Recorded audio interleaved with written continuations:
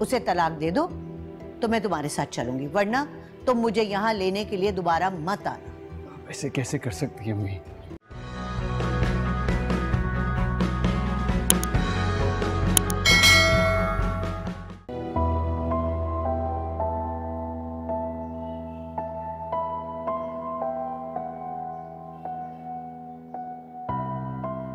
Please चले अम्मी।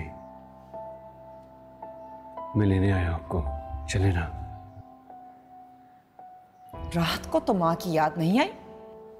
उस वक्त तो बीवी को सबके सामने लेके चले गए। एक बार भी नहीं सोचा कि माँ मना कर रही है। माँ की इज़्ज़त ही रख लो। खाला ये माँ बेटे का आपस का मामला है। आप दरमियान ना ही बोले तो बेहतर होगा। वाह हैदर वाह। देख हैं पापा? एक ही दिन गुजरा इसको आयजा के साथ। और आँखें माथे पर रख ली हैं खाला प्लीज़ आप अम्मी को मजीद मत भड़काएँ। हैदर तुम जाओ यहाँ से। मैं नहीं जाऊँगी तुम्हारे साथ। और मैं भी आपको यहाँ से लिए बगैर नहीं जाऊँगा अम्मी।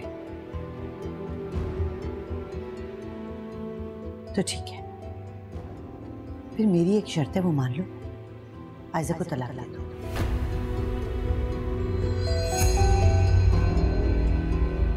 क्या क्या कह रही है? ठीक कह रही हूँ। मेरे वापस आने की बस यही एक शर्त है। उसे तलाक दे दो तो मैं तुम्हारे साथ चलूँगी वरना तुम मुझे यहाँ लेने के लिए दोबारा मत आना। ऐसे कैसे कर सकती हैं अम्मी? प्लीज़ कुछ तो ख्याल करें। अगर मैंने आयजा को तलाक दे दी तो उसकी ज़िंदगी बर्बाद हो जाएगी। कहाँ जाएगी वो? क्या करेगी वो अम्मी? ये जो पिछली रात गुजरी है ना कयामत से कम नहीं थी। लाइबा की हालत जाके देखो उसकी ज़िंदगी बर्बाद हो गई है। कैसी तरफदारी कर रहे हो साइजा की? मेरी बेटी की किसी को फ़िक्र नहीं है। लाइबा की ज़िंदगी मैंने बर्बाद नहीं की आप सब जानते हैं ये। अपनी ज़िंदगी को बर्बाद करने वाली वो खुद है। हैदर मैंने जो कहना था वो कह दिया। मुझे साथ लेके जाने? तो आयजा को तलाक दे।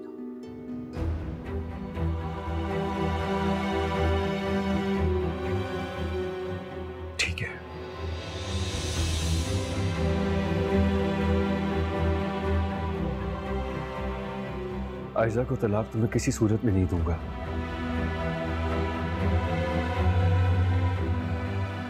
मुझे आपका ख्याल था इसीलिए आगे आपको लेने के लिए।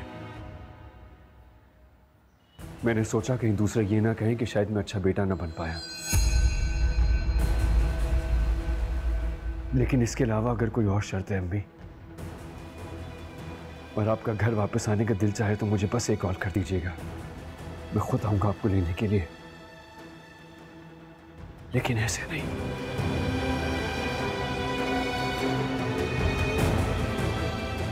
चलता हूँ मैं।